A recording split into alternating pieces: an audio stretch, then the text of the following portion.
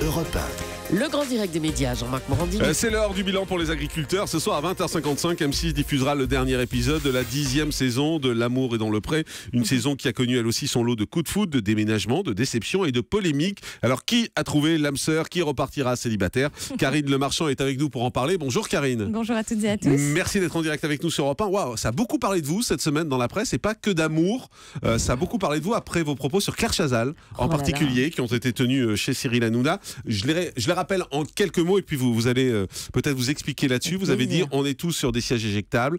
On ne fait pas d'angélisme dans nos métiers. Quand elle est arrivée à l'antenne, elle a pris aussi la place de quelqu'un d'autre. Elle s'est aussi contentée pendant des années de ne travailler que le week-end. Elle a eu de la chance d'avoir un job pendant 24 ans et de ne travailler que vendredi, samedi, dimanche. Moi, j'aurais bien voulu faire ça dans sa vie de famille. Et puis Pour vous dites, pour votre vie de famille, vous dites à 55 ans, à 57 ans, elle va partir avec des centaines de milliers d'euros. On peut aussi penser à d'autres gens qui ont 57 ans, qui n'ont plus de boulot parce qu'on va dé- les délocaliser dans un autre pays. Ça va, on ne va pas pleurer. Non, pour ça, on ne va pas pleurer. Donc pour eux, pour ces gens qui, qui n'auront pas de. Et vous avez vu que ça a déclenché euh, pas mal de réactions sur les réseaux sociaux, y compris dans la presse, où on a dit que vous étiez dur avec elle. Mais- Même si sur le plateau, tout le monde a approuvé Voilà, ce tout le monde soir-là. était d'accord. À part Mathieu Delormeau, mais on sait pourquoi. Bon, et, et ensuite. euh, Parce qu'il est très proche de Fogiel, qui est très proche de. Chazal. Moi, je ne jugeais pas Claire Chazal en tant que, en tant que journaliste. Je jugeais le fait de- de- d'arrêter le contrat de quelqu'un après 24 ans de bons et loyaux services. Et voilà. Maintenant, quelle hypocrisie, mais quelle bande tous d'hypocrites la presse. C'est-à-dire, je me suis amusée ce week-end à regarder ce qu'il y avait sur Internet. Alors, j'invite les auditeurs à taper Claire Chazal, audience, Claire Chazal, complaisance, bafouillage. Et vous allez voir que depuis des mois, voire des années, depuis l'ère Ferrari, finalement, tout le monde tape sur Claire Chazal. Depuis des mois. Le Point, l'Express, le Figaro, là je vois dans l'Obs, Nouvelle Bourre de Claire Chazal. Euh, je regarde sur mon téléphone parce que ça Ouais, m'énerve en fait. vous avez chargé. Le nouveau bafouillage de Claire Chazal. Claire Chazal bafouille en lisant son prompteur. Qu'est-ce qu'il y a d'autre? Euh, euh, Vous- vous Julien Bugier éclipse Claire Chazal au niveau, de- au niveau des audiences. Mais si on, si on a licencié, ou je ne sais quoi, quels sont les accords On l'a juste Euh, sorti pour l'instant de la présentation. bon, TF1. présentation, c'est pas seulement les audiences, c'est aussi le travail de SAP de, de toute la communication qui est faite aussi contre elle. Sans doute parce que c'est une femme plus qu'un homme, je, je pense aussi. Son âge et, euh, et, et même sa façon d'interviewer euh, ont été sans cesse euh, remises en cause depuis des années. Et forcément, la direction, elle lit ça aussi. Même vous, votre site, Bien tout l'été. Tout l'été. Alors ça y est, le journal de France 2 est en train de, de, de- ça, rattraper faits, celui hein. Moi, je, moi, je n'ai jamais parlé de son âge, par exemple. Il n'y a jamais un seul papier sur son âge. On parle des audiences simplement. Non, mais je dis pas ça. Après, c'est dans les secrets d'alcôve où tout le monde pouvait dire des choses comme ça. Mais c'est vrai que quand on dit qu'elle sait pas mener des interviews, qu'elle bafouille, qu'elle est complaisante avec les politiques et que les audiences baissent, mais la direction le dit. Mais, Mais, mais- moi, je ne suis pour rien quand même dans, le- dans, le- non, dans- non, mais ce que, ce dans- que- dans ce les que vous voulez dire, c'est que vous avez dit tout haut ce que beaucoup pensent tout bas C'est ça Mais en non, fait mais moi, je dis Et aujourd'hui, vous ça- comprenez pas qu'on vous tombe dessus là, euh, pour ça Bah écoutez, ça c'est pas grave, parce que moi je suis pas connue pour, euh, pour ne pas être langue de bois. Je pense que quand on me pose une question, c'est que je vais y répondre. Mais maintenant, je vois même pas où est le mal de dire ce que j'ai dit. Euh, maintenant, si ça dérange les fans de Claire Chazal, bah, je, je m'en excuse. Et je n'ai rien contre le travail de Claire. Et si elle est restée 24 ans, c'est aussi parce qu'elle était sans doute compétente et qu'elle faisait de l'audience. Maintenant, euh, tout le monde, dans nos métiers, nous, on, on signe pour un an, voire pour deux ans, on ne sait pas ce qu'on sera demain, et je trouve ça normal. Moi, j'aime bien l'idée que je puisse partir et je puisse être virée. Mais, euh, mais voilà, c'est c'est- c'est malheureusement la vie, mais je, je n'ai pas trouvé ça catastrophique en tant que acte. Voilà. Voilà. Et vous avez également pensé à ces gens qui sont souvent virés à 57, 58 Dont ans. on ne parle qui- jamais, dont, dont on tout parle jamais, qui sont, euh, Ouais. euh, qui sont salariés dans des entreprises, qui ont des petits salaires et qui repartent avec pas grand-chose et Ben qui ont souvent du mal à finir les fins de mois. Bah oui. Et Fin de la parenthèse commencer. Fin de la parenthèse Ben voilà, et puis je suis sûre qu'elle va rebondir. euh, si, si France Télévisions est malin, ils vont peut-être l'embaucher d'ailleurs. Ou, Bah, une chaîne- sait ou une chaîne d'infos. Ou M6, pourquoi pas euh, Bah, pourquoi également. Pour faire Il dans va le falloir, pré, va falloir sortir le, le, le chéquier quand même. Ah oui, pourquoi ils payent pas bien M6 Ah bah non, par rapport à Ah bon TF1. ah bah non.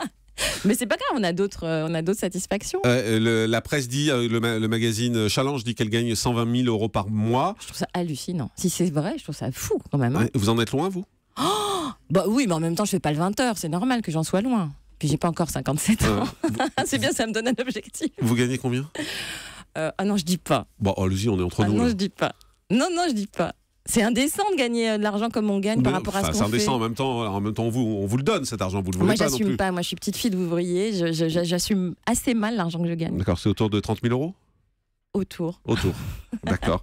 Euh, on parle de l'amour et dans le pré. Ce soir, 20h55, c'est le dernier numéro. Euh, alors là, ça a très bien marché. C'est vrai que les audiences sont super.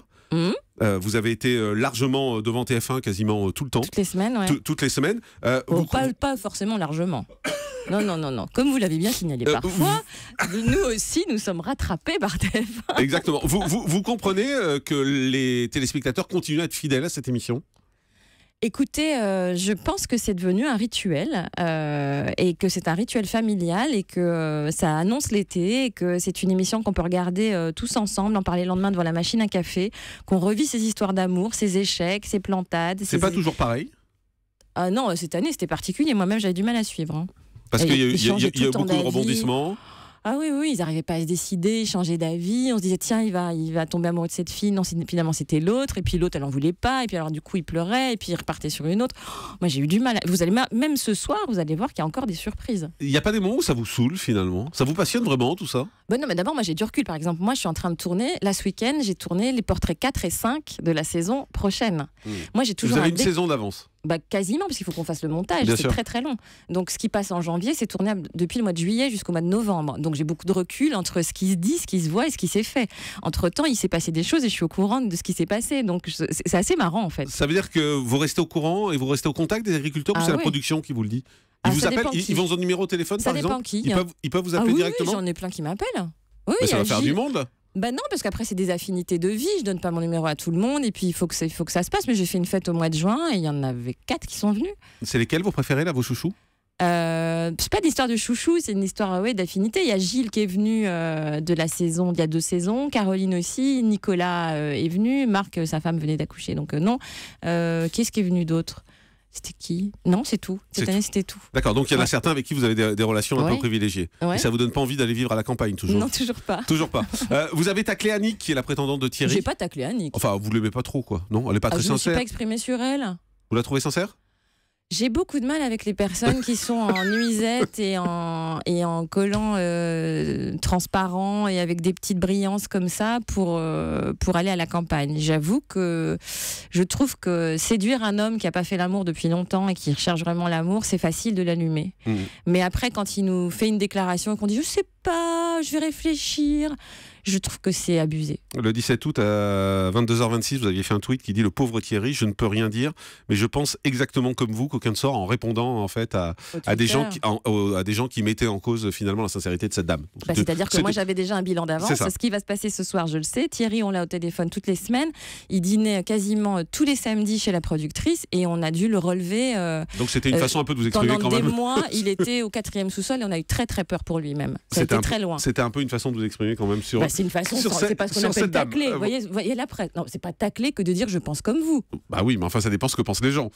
Oui, mais c'est pas ce qu'on appelle tacler. Il faut arrêter avec euh, assassine, tacler, machin. Il y, a, il y a des mots qui sont trop forts par rapport à la réalité. Ça reste de la télé. Euh, vos, vos projets, Karine, Oui. pour cette année, Eh qu'est-ce qui ben, arrive puisque, le, je puisque ça, ça se termine Je pense qu'on va refaire du Qu'est-ce que je sais vraiment avec Stéphane. Et je Ah, ça revient, réjouis. Ouais. Ouais, ouais. Euh, L'amour est dans le pré-saison 11, hein, qui s'annonce plutôt bien. Euh, J'espère que ce sera plus euh, l'amour est dans le pré que l'amitié est dans le pré, parce que cette année c'était un peu ça. Sinon. Il y a eu beaucoup de déclinaisons de l'amour est dans le pré, là, ils en ont fait un peu le mardi soir en particulier. Bon, ça n'a pas, marché, hein. ouais, seconde chance. C'était naze, ça, non? Bah, c'est pas fini, hein. Oui, mais c'était naze. J'ai pas regardé. C'est naze. c'est vous qui le dites. Vous taclez l'amour est dans le pré, Jean-Marc. non, pas vous, moi je vous adore. Non, mais je parle de seconde chance. Vous êtes d'accord, non? J'ai pas, pas regardé. Oui, mais d'accord. Mais bon, ça part la langue de bois. Mais je peux pas. ça je sert peux- à rien. Ah, mais je peux- je peux- ah, bah ça sert s'il trouve quelqu'un. Ouais, ça en trop. L'audience le dira. L'audience le dit. Ouais. Alors pour le coup, il n'y a pas d'animatrice, donc il n'y a personne à virer. Vous auriez pas aimé présenter ça? C'était impossible pour moi de présenter cette émission. Langue de bois quand il nous tient, c'est terrible. Je la connais trop et on voit ces petits silences et, et ces petits yeux qui pétillent, ça veut dire beaucoup de choses.